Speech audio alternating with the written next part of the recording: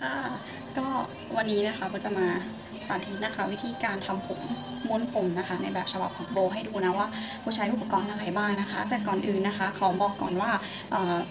สีผมนะคะ มีคนทำเยอะมากนะ ตอนนี้เพิ่งไปโกกซ้ำมานะคะ ซึ่งสีเดิมเลยนะ แต่ว่าให้เขาเอาสีน้ำเงินออกค่อนข้างมากนะคะ ตอนนี้ก็เลยกลายเป็นสีม่วงอ่อนนะคะ แต่ว่าจริงๆอะสีมันจะเป็นสีเทานะ ที่โบโกกก็ชอบสีนี้มากๆนะคะ มีคนชมว่าเออโบทำสีนี้เรา เหมาะกับโบมากอะไรเงี้ยก็เลยไปจัดใหม่อีกนะ ก็ก่อนอื่นนะคะ แบ่งผมก็จะแบ่งช่วงครึ่งหัวหลังนะคะ แบบนี้นะติดคลิปนะคะอ่าแล้วก็เอาผมมาข้างนอกนี้นะคะอ่ออุปกรณ์ที่เราจะใช้นะคะ ก็เป็น ตัวนี้เลยนะคะของอิซ่านะก็เป็นของน้องลูกน้ำนั่นเองนะคะถ้าเกิดใครเล่นโซเชียลเนี่ยก็จะรู้จักนางนี้นะคะ ก็ใช้ดีมากนะคะแล้วก็ใช้มานานมากแล้วก็ใช้แต่ออกใหม่ๆเลยจนถึงตอนนี้ก็ยังใช้อันเดิมอยู่แล้วก็คือไม่กลับไปใช้เอ่อโลมนผมธรรมดาอีกเลยค่ะ ก็อันนี้นะคะ เปิดง่ายปุ่มมันเยอะมากแล้วนะ ก็นี่เป็นปุ่มเปิดนะคะ แล้วก็จะมีระดับความร้อนนะคะระดับความร้อนเราจะใช้อยู่ที่ร้อนสุดนะคะ ก็อยู่ที่ 200 นะคะ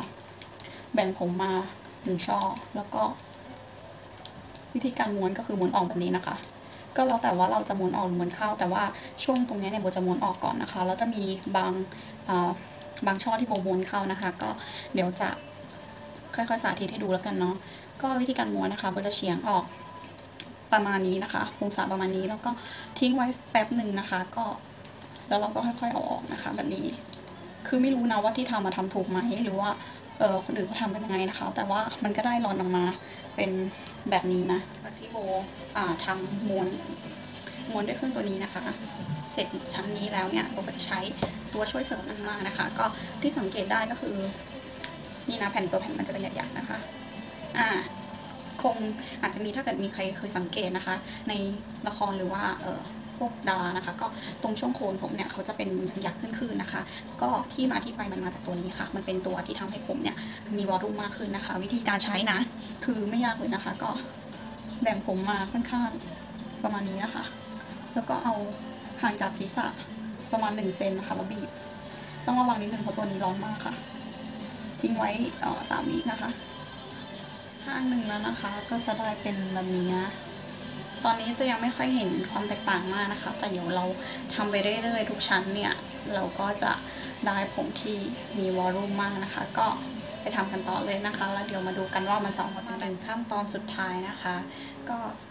จะถึงส่วนที่เราจะต้องการที่จะแสกจริงๆแล้วนะคะก็นะคะก็จะม้วนออก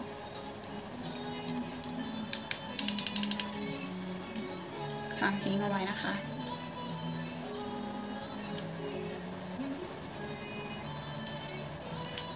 บางทีถ้ามันร้อนจะจัดนะคะ เครื่องมันจะดับไปเอง เราก็ต้องคอยสังเกตว่าปุ่มมันแดงหรือเปล่านะคะ ก็หมุนช่วงปลายนะคะะช่วงนี้นะคะ ช่วงข้างนอกเนี่ยเราจะม้วนเข้านะคะม้วนเข้านะคะตรงด้านนี้นะแบบนี้ ก็อีกด้านหนึ่งนะคะ ด้านหน้าหมุนออก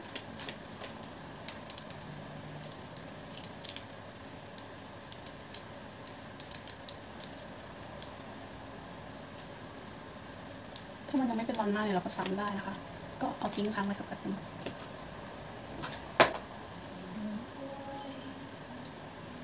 โอเคแบบนี้นะคะ แล้วก็ด้านในเหมือนเดิมม้วนเข้านะ เพื่อให้ผมมันดูปองนะคะ ถ้าเกิดลงมางอย่างเดียวเนี่ยเออด้านหลังมันจะดูไม่ค่อยมีวอลลุ่มเท่าไหร่นะแบบนี้ ก็ดูด้านหลังๆนะคะ ก็ม้วนเข้าม้วนออกก็ได้นะมันก็จะม้วนเข้าเหมือนเดิม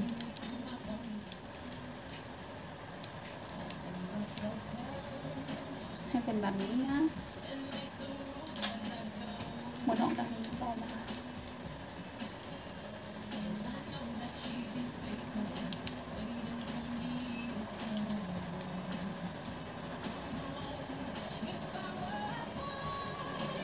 ก็จะเซ็ตผมของโบนะคะโบจะใช้เป็นตัวนี้นะคะ ชื่อว่า Proofs นะคะ อันนี้มีค่ะที่ H&M แล้วก็ คิกน่าจะมีนะคะ ก็ลองไปหาซื้อกันดูนะราคาไม่แพงแล้วก็คุณภาพดีมากนะคะกูจะใช้เป็นมูสนะคะ ไม่ใช่สเปรย์ก็เขย่านะ แล้วก็หยิบใส่มือค่ะ ประมาณนี้นะ ก็ขยำเลยค่ะขยำใส่ผม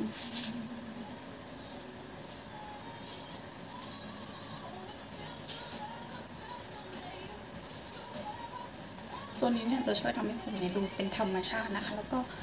ไม่เอ่อไม่ทำให้ผมเนี่ยดูแข็งเหมือนสเปรย์นะคะ เพราะสเปรย์เนี่ยมันฉีดแล้วมันดูไม่ธรรมชาตินะ อันนี้คืออยู่เลยนะคะ คือระหว่างวันเนี่ย